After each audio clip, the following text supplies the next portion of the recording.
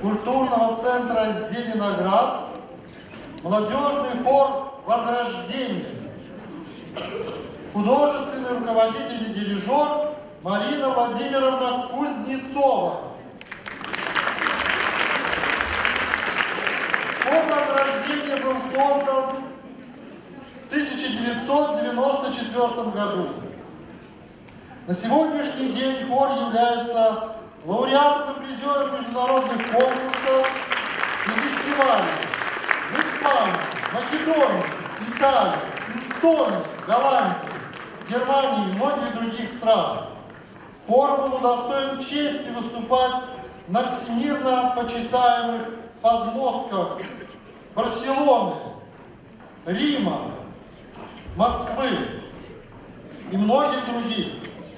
Большой сценический опыт коллектива позволяет исполнять акапелла в разных жанрах и направлениях на многих языках различные произведения.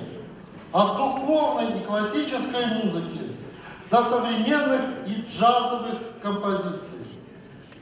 В исполнении коллектива прозвучат Кедров, Отче наш, Рахманинов, Богородица Дева Радуся, американская народная песня «Ивнинг Райс»,